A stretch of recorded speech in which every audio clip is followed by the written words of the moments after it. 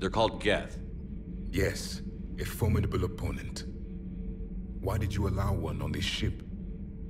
Legion helped us before. It's still a machine. I take it you had your own problems with AI? The Zha'til, they were as the Geth are to this cycle. What happened? Their creators lived on a dying world. It was beyond their ability to save.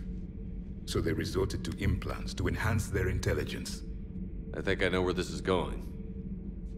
The AI sees the physical body. It could alter the genetic material at the deepest level. In time, the offspring were molded into a slave race. Few organic traces were left. They were monsters. All machines commit treachery. The one you brought on board is no different. Maybe. But he's not like the other Geth. You can't know that. They are more alien than you and I are to each other. Just because Legion isn't like us doesn't mean he can't be trusted. You're wrong. Throw it out the airlock. How can you be that certain? Organics do not know how we were created. Some say by chance, some say by miracle. It is a mystery.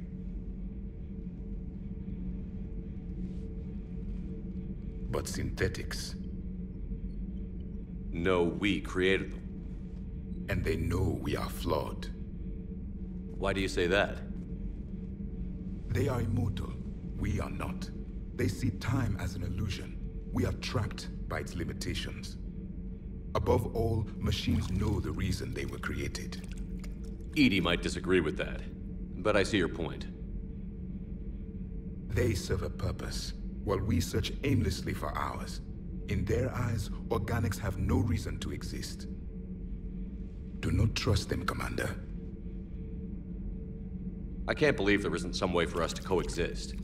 We made them. and then gave them the power to surpass you.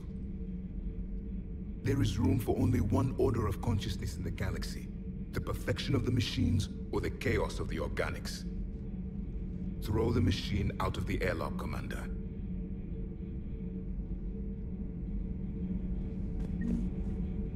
I have a simple rule. If a machine can speak, kill it.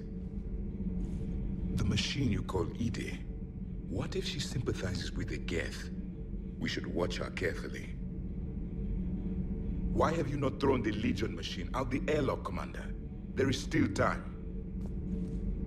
I still have much to learn about this cycle.